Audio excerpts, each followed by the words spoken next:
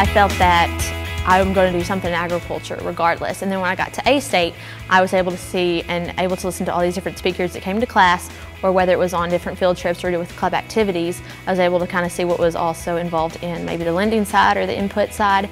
And so that kind of made me think, well, there is so much more involved in agriculture that gives a lot of diversification. I need to go put you up, don't I? we have a lot of farm pets.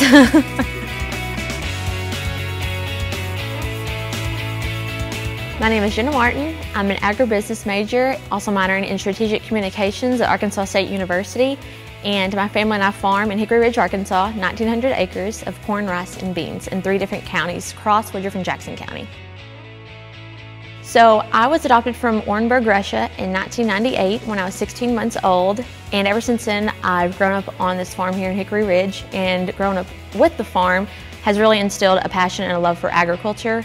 And when I was five years old, I was involved in 4-H, and ever since involvement in 4-H, I was more exposed to working with the county extension office, and then also with all the programs that 4-H had to offer. And it wasn't just geared around like ranching and farming, but it also gave opportunities like in leadership development, in team building exercises, and also in communication. And ever since then, I credit a lot of it to my family, and then I credit a lot to um, working with the extension office and the agents, and being exposed to um, all that agriculture in the community had to offer. I feel like that really is what um, has built me into who I am today.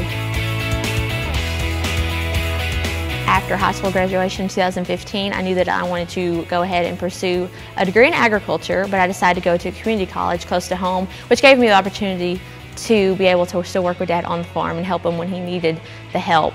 Um, but ever since an early age, I knew I wanted to be involved with agriculture, not just because it's all I knew, but I knew there was a lot of opportunities. I knew that it was very diverse, and even more so now since I've been at A-State.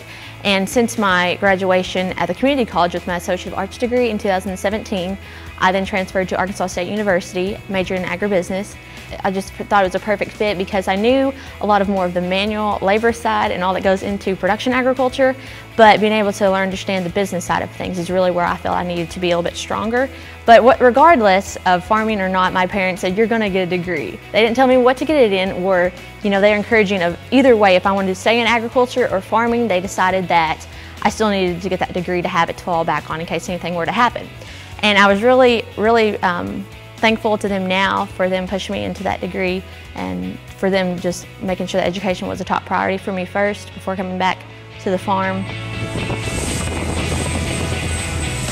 This minute after my plans after I graduate is to still stay involved in agriculture. I want to still be able to help dad on the farm, but then also was kind of wanting to see what else was involved, like what else was out in the ag industry. But my thing is I'm really an outside person, hands-on, and being able to still stay outside and directly farm and involved in agriculture in that aspect is what I feel like fits me the best.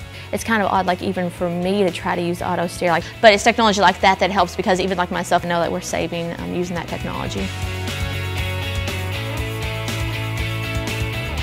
My advice to the younger generation or even those that are, are, females wanting to get involved in agriculture is to not just think that maybe since you are a female that farming is not for you or agriculture in general because 32% of the farming population now is made up of females.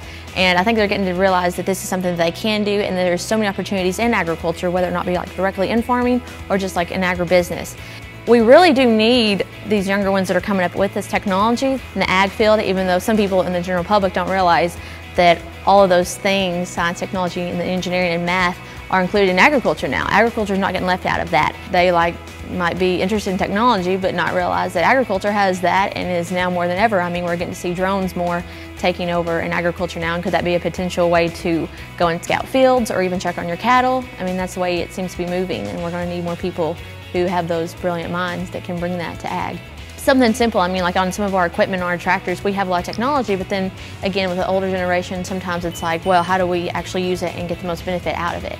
And I feel like that's where um, like my generation and people that are in the college now that's where they need to start stepping up and really taking lead there.